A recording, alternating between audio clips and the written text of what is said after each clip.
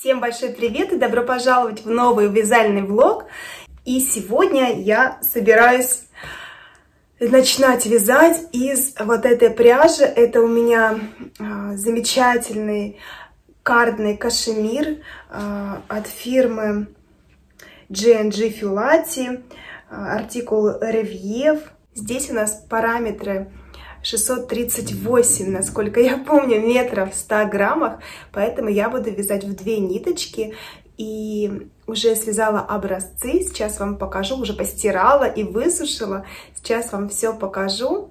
Ну и это будет замечательный, э, нежнейший, тепленький свитер, а, осенний-зимний, ну вот такой вот на холодный, на холодный сезон. Я уже представляю, как он э, согревает меня, как он э, нежными своими объятиями окутывает меня.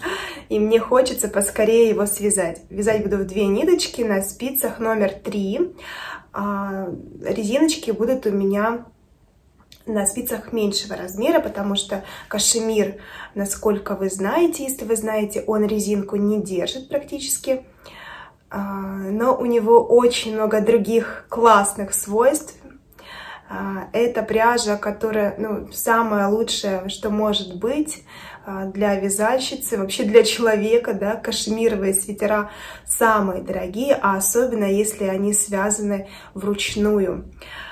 Поэтому э, это очень ответственный такой момент продумать и связать э, вещь, э, ну, такой, чтобы она не подвела, да, чтобы она была прекрасной, чтобы носилась с удовольствием. Это вещь, которую можно передавать буквально по наследству, если ее не, не заносишь сильно. Кардный кашемир, кстати, больше закатывается, гребеной не закатывается. Но э, у гребеного нет этого прекрасного пушка, который есть у вот этого кардного кашемира. Еще раз я оставлю ссылочку на э, сайт, где заказывала, да, это итальянская бобинная пряжа. И также оставлю промокод э, со скидкой 10%. Давайте посмотрим на мои образцы. Итак, показываю вам образцы. Это в две ниточки, это в одну ниточку. А, что хочу сказать, мне нравится и тот, и другой вариант. Конечно же, в одну ниточку он гораздо тоньше, прозрачнее ну, тоже достаточно неплохо, если шарфик, допустим, вязать. Но все-таки для свитера я буду вязать в две нити. А, рекомендовано где-то 4 миллиметра спицы, но я буду на тройке, наверное, на трех с половиной вязать, потому что я вяжу достаточно расслабленно. Вот здесь вот я связала на тройке, посмотрите, да, какое полотно. Вот, но оно тоже прозрачное все равно. Конечно, со временем будет пушочек все больше выбиваться, но э, я достаточно хорошо постирала. Видите, какая, какая структура? Мягчайшая, нежнейшая ниточка. Просто обожаю. Да, не держит резинку. Совсем не держит. Просто видимость. Но узоры красиво выглядят, да? Ну, то есть даже резинка очень красиво выглядит. Так что вот именно этот образец я беру за основу и буду вязать. Ну и, конечно же, в две ниточки свяжется и быстрее, и, ну, и приятнее внешне. Мне говорили, что написали, что будет шуба. Ну, какая шуба? Ну, нет, конечно, никакая не шуба. В две ниточки получается метраж э, где-то 313-315 метров в 100 граммах. Конечно же, это не шуба. Вот. А вот эта тоненькая такая ткань, конечно, для свитера ну, совсем никак. А, максимум это будет шарф. Вот, в одну ниточку, да. То есть вязать я буду в две нити. Так, образец связан, то есть можно уже начинать вязать. А, до стирки, конечно, полотно было другим, более таким сухим и без пушка. А после стирки вот так вот хорошо раскрывается пряжа.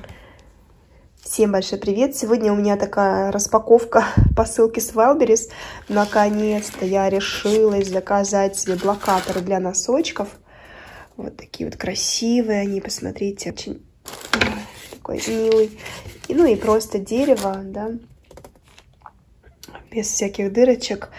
Блокаторы для носочков, для женских носков 37-38 э, размера наконец-то у меня появились. Я очень долго не понимала, для чего они мне, но думаю, как вязальному блогеру, конечно же, они мне нужны были уже давно. А вообще они нужны для того, чтобы а, полу такие сухие носочки надевать на вот эти блокаторы, и они принимают его форму. Носочки а, более такие презентабельные, их не стыдно подарить. То есть, ну, такой вот красивый вид. Даже для фото вот надеть носочек на блокатор, и уже красота. А это главный гвоздь программы пряжа, из которой я буду вязать э, худи с капюшоном, о котором мы с вами говорим уже несколько видео подряд. Я искала пряжу э, в разных магазинах, э, и бобинную, и на стоках, и обычную моточную, кид махер, махер на шелке, в общем, все что угодно. Сейчас у меня финансовые такие ограничения, так скажем, на пряже, поэтому а, слишком дорогую пряжу я не рассматривала, тем более, что я эм, вообще махир, из махира не вяжу. И я не понимаю еще до конца, буду я носить эту вещь, насколько часто, э, как мы с ней сойдемся, как мы с ней сдружимся не знаю. Поэтому э, решила попробовать более бюджетную. Не скажу, что прям это все тоже очень дешево. На Wildberries вот немножко подешевле, да, это мне обошлось 5 э, мотков э, в 1000 рублей. Вообще все зависит, конечно, от магазина. Это пряжа Alize Naturale. О ней я узнала из видео Светланы «Вдохновение в петлях» которую постоянно смотрю. Мне очень нравится ее видео, и я не понимаю, почему у нее так мало подписчиков. Она такая крутая, у нее такие вещи, у нее такие идеи. И вообще она сама большая молодец. Она со своей дочкой они снимают видео. Дочка красотка, тоже модель. И а, она вяжет и для себя, и для дочери, и для мамы. И вот Светлана всегда говорит, что вот эта пряжа ей очень нравится, Ализа Натурале я решила попробовать. Э, зашла на Wildberries, там я тоже периодически заказываю пряжу. Вот э, в последний раз э, это был, была пряжа, была закупка на мой кардиган из хлопка травки, тоже на Wildberries. А сейчас я заказала вот Ализа Натурали. Посмотрите, цвет просто вот тот, который я искала. Просто идеальный. А также, что мне еще было важно, так это метраж. Здесь у нас на 100 грамм 230 метров. Вот такой вот цвет, 244. Он какой-то зелено-болотный такой, хаки, ну что такое. Очень красивый такой, приятный оттенок. А, похож на тот свитер, который я обожаю. Ну, цвет похож, который я все никак не выброшу. Мой любимый свитер зеленого цвета, а, который я покупала еще в Якутске. Вот. Ну, мне очень нравится цвет, и он мне идет, хоть и э, брюнетка я была, хоть сейчас блондинка, и мне кажется, он подходит вот к таким к темным выразительным глазам. Да вообще, наверное, всем он подходит, это такой универсальный цвет. А, и пряжа, Светлана говорит, что она не колючая, так что я буду пробовать, вязать. В любом случае, это будет зимняя такая вещь, да, махер все-таки, хоть здесь и хлопок, и махер. Пряжа, кстати, к слову, э, совершенно натурального состава. Это у нас 60% э, шерсти и 40% э, хлопка. Вот такой вот состав. И э, вот такой вот ворс. Так что э, зимняя вещь будет будет носиться на маечку, на футболочку, на что-то такое. Так что я надеюсь, что мы с ней подружимся, опять-таки, повторюсь. И я вот в раздумьях начать мне вот эту вещь и делать по ней мастер-класс, либо связать кашемировый свитер и носить уже побыстрее. Не знаю, может быть и то, и другое, хотя обычно, если я вяжу одну крупную вещь, то я могу еще какие-нибудь парочку аксессуаров добавить, да, в, ну, одновременно вязать. А вот э, когда вяжешь две крупные вещи, ну, тут уже посложнее. А, хочется уделить внимание одной какой-то. Ну, может быть, знаете как? Я буду делать, э, вязать днем зеленый худи и снимать мастер-класс, а по вечерам, когда мне ничего не нужно будет снимать, э, я буду вязать э, свой кашемировый свитер. Может быть так, да. Вот, так что поздравьте меня, я нашла эту пряжу, поищите тоже на Валберис, ну, либо в своих магазинах, либо где угодно. Ну, вот Ализе Натурале, по-моему, эм, для меня вот сейчас, по крайней мере, это идеальный был выход из ситуации, идеальный вариант. Надеюсь, что я не разочаруюсь. Спасибо еще раз Свете за вдохновение. Чуть не забыла вам показать носочки, которые я связала вместо тех, которые показывала в прошлом видео, потому что они вяжутся быстрее, мне нужно было быстрее довязать на подарок. Так, это мужские носочки, вот такие вот. Рисунок использовала тот же, но посмотрите, насколько он крупнее. И да, у меня получилось здесь на голенище только рисунок, а здесь уже лицевая гладь. Это пряжа из Троицка, очень теплая, чистая шерсть, приятная. Тоже такой же, с такой же пяточкой, как вот и на этих носочках. А, резиночка тоже с фабричным таким набором. А, мне кажется, что достаточно такие удачные получились носочки. И самое главное, теплые, нарекаю их лечебными носками. Вообще у меня все носки э, вязаные, шерстяные, все лечебные. Так что заряжала их тоже на здоровье. И те, и другие носочки. Вот это все идет, э, идут они в подарок. Такие женские и мужские. Мне кажется, отличные, отличные две пары получились. Сейчас какой-нибудь подарочный пакетик приготовлю. И вот отправятся они греть очень хороших людей. И в продолжении влога хочу с вами немножко еще поболтать. А, и как вы видите, я ношу свой кардиган, обожаемый из Drops Air, дома, потому что он очень-очень приятный и теплый. И сейчас пока еще не дали отопление, но у нас уже прохладно. А, и дома, ну и на улице, конечно же, дождики, ветра и так далее. В общем, очень уютный, приятный, тепленький кардиган. Из Drop Air всего лишь у меня ушло 5 моточков, по-моему, или 4 моточка даже. Но я вязала на спицах номер 4. А, это у меня, это у меня спущенное плечо, реглан погон. Оставлю ссылочку, если кому-то интересно связать такой же кардиганчик. А еще сегодня хочу сказать, что, конечно же, не все из вас смотрят мой второй канал о жизни, мой влоговый канал, и поэтому не знают, э, что недавно на моем канале вышло видео о токсичных отношениях, о выходе из токсичных отношений. Кто не знает, я в разводе, и уже давно, три с половиной года прошло, к счастью.